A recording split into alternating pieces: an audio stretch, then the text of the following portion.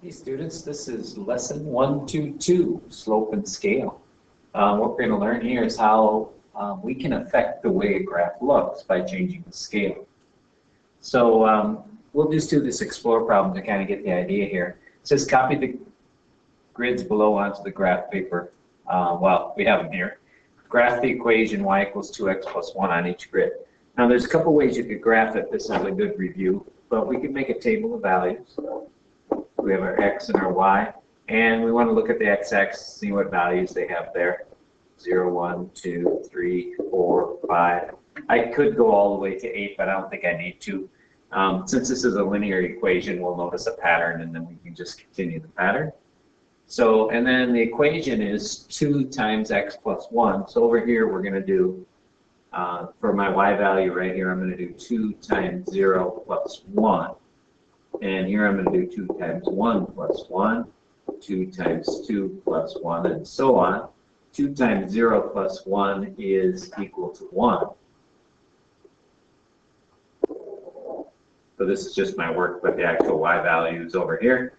2 times 1 is 2, plus 1 is 3. 2 times 2 is 4, plus 1 is 5. And you can see the linear pattern now.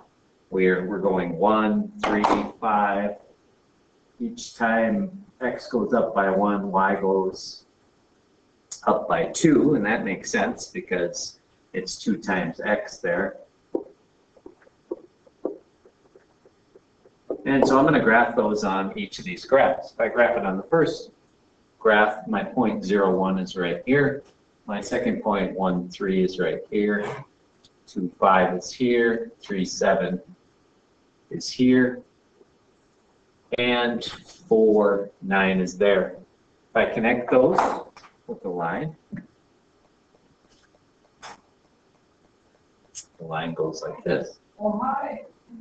Okay. All right, now graphing the second, uh, on the second graph here, the same points.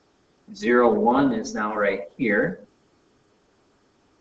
1, 3 is right here two, five, three, seven, four, nine, and the pattern would continue.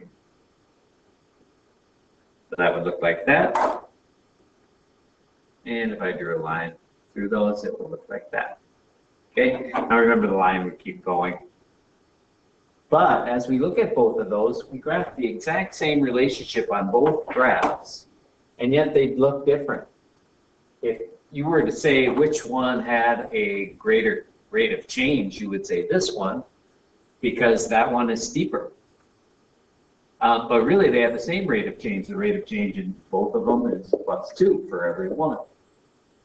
So the slope is 2, but yet the graphs look different.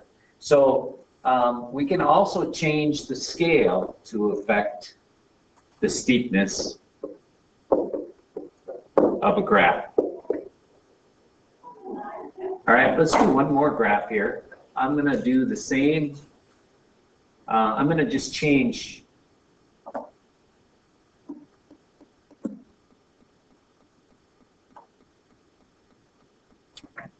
Let me show you one other graph of the same exact relationship, y equals 2x plus 1. I'm going to change the scale a different way, and I'm going to make it look less steep than either of those other two graphs. So what I'm going to do on this one is I'm going to change my x-axis to 0, 1, 2, 3, 4, 5, like that. Notice I skipped every one. So I'm, my scale is 1 half now. And then on the y-axis, I'm going to go 2, 4, 6, 8, 10, 12, 14, 16, 18, 20. All right, so, uh, so I changed that scale. So actually my y-axis is pretty much the same as the second graph. And now I'm going to graph those points. The point 0, 1 is now right here. The point 1, 3 is right here. 2, 5. 3, 7. 4, 9 and 511. And notice what happened here. This time the line flattened out. So you can change both the x and the y-axis to change the look of the graph. You just kind of have to think about the way you would do that. All right, I'm going to do one more problem with you. Okay, imagine that you are, so this is at the top, for you, this will be at the top of page nine in your packet. Uh, Ava mother, Ava's mother thinks Ava is spending too much money on DVDs. Ava says that since DVDs cost only ten dollars at deep discount some, the amount she spends does not increase very rapidly. Ava decides to make a graph showing the total amount spent changes as she buys more DVDs. She thinks that if she chooses her scales carefully, she will convince her mother that the amount increases at a slow rate. Draw a graph that Ava might use. So what we want is for this to look like it's not going up very fast. So she's paying then ten dollars per DVD, and uh, we and she's trying to convince her mom that um, she's not spending money as fast as her mom thinks. So let's just make a quick table of values here, and this X is the number of DVDs she buys, and Y is the number is the cost of those DVDs. And so this is a pretty simple one. Zero DVDs is zero, one is 10, two is 20, 30, 40, and so on. Now, what I want to do is change the scale.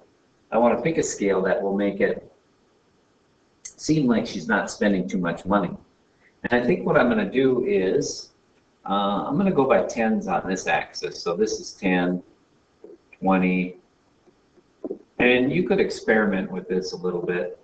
But uh, what I'm going to do to make this, so I'm just going by tens here, which makes sense for the values we have. But on, on the x-axis, I'm going to stretch out, instead of going by one DVD, I'm going to go by halves. So I'm going every other one. And what I think this will do is flatten out this graph and make it look like it isn't very steep. Now, if we had a line like this, Ava's mom would say, man, you're really spending money fast. But if we have a line like this, Ava's mom would say, oh, that's not so bad. So that's kind of what I'm shooting for.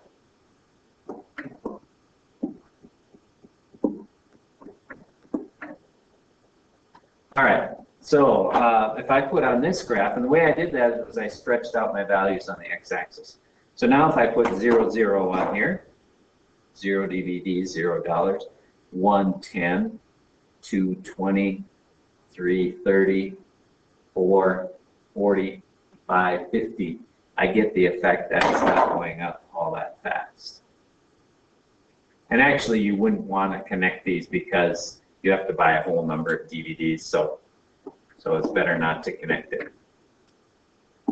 So there it is uh, Ava's going to show her mom this graph and say, Mom, it isn't so bad. All right, uh, we're going to, why don't you try and uh, do this next one. Uh, and uh, what you're going to do is try and pretend you're Ava's mother and create a graph that makes it seem like she's really spending money fast. And that's where we'll start tomorrow in class.